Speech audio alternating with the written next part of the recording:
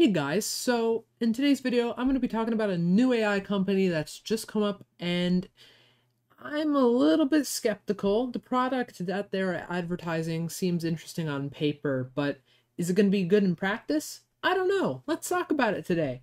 So, this is an article from Engadget. Halliday promises its smart wayfarers have a proactive AI assistant inside. I'm going to be covering what that means in a little bit. But basically, the article starts off with smart glasses are traditionally long on promise and short on delivery. Yeah, that's kind of true with a lot of these smart wearables.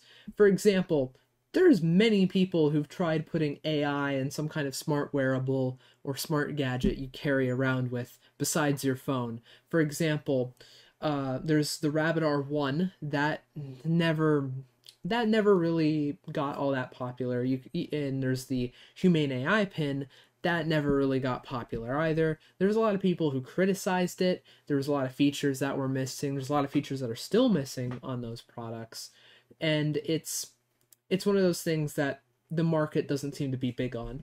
And speaking of smart wearables, it's a little bit obligatory that I bring this up. The Google Glass. The Google Glass was a thing in uh, 2013, and basically it was this thing Google made where it was these little, not really glasses, but this little lens that you wore, and it had um, it ran Android basically, and you can go ahead, you could use it to get like Google Maps and Google Assistant and all of that fun stuff, and it was just kind of mocked.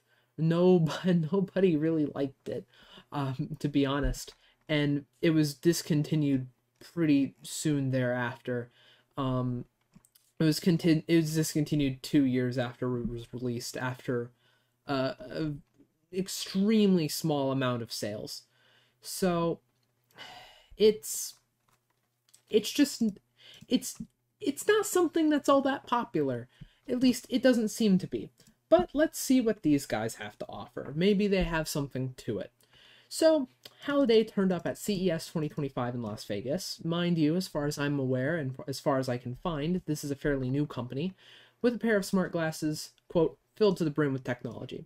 Now, the little display on it is a waveguide display in the right eye cup that will project the equivalent of a 25 inch screen into the wearer's view. So you have the actual lenses, and then up top here is the little uh, little tiny screen. Apparently, the display is easy to read in strong light, and the company promises the hardware is invisible to onlookers.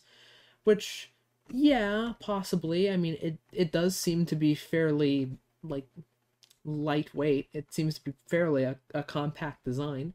The company adds the glasses weigh just 35 grams and promise an 8 hours of battery life on a single charge.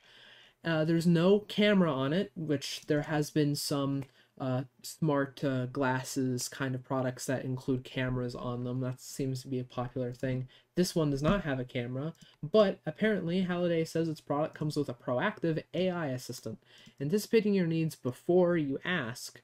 The glasses have a built-in microphones that are listening to your conversations, analyzing them, and answering prompts as they come up. If you were to wear one of these in a meeting, say you'd be able to ask the system to produce a summary of said meeting immediately afterward. And yeah, that has some privacy concerns to a, a certain degree for sure.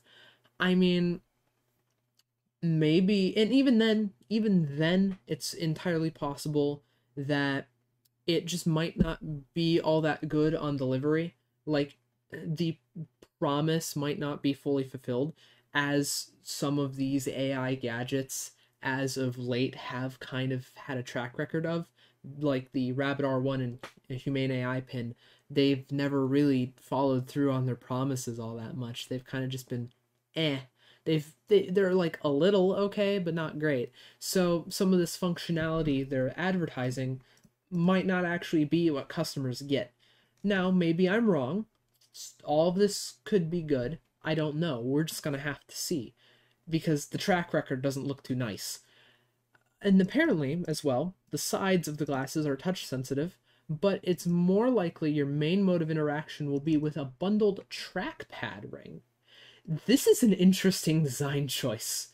Um, the idea is that you're able to discreetly control what the glasses show to you without like attracting attention by touching your glasses or like touching out in the wider field of view or anything like that. You just have a little ring that you wear and you fiddle with. And I mean, that's fine. People fiddle with rings all the time, so it's like, it's a fairly discreet mode of interaction that nobody would really consider or think twice about. It's an interesting design choice. I don't know if it's going to catch on. I don't know if people are going to like it. I don't know if it's even good. But admittedly, if anything else, I'm going to applaud to this. If you wanted to make a discreet method of interaction with a device, that is fairly discreet. I like that idea. It's kind of nice.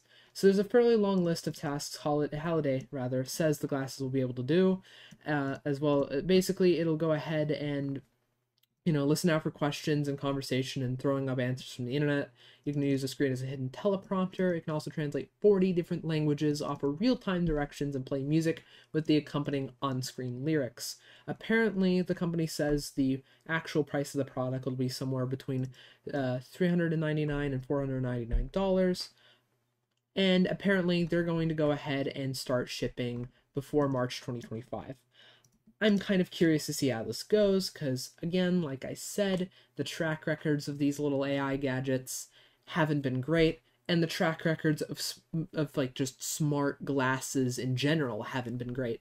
Heck, Apple's smart glasses product, you know, the um, Apple Vision Pro, hasn't been doing too well either. They've, as far as I'm aware, and don't quote me on this because I actually don't fully know, but I feel like I've heard that they've even stopped production on it because the orders are so low. So they they have they have enough in stock to fulfill the orders, but the actual supply and demand just isn't enough to keep getting more supply.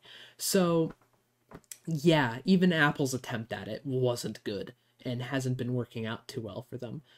So we'll just have to see what happens. I'm kind of curious to see if these guys will break the mold, but they seem to be fairly new but that doesn't mean they can't break the mold. I don't know.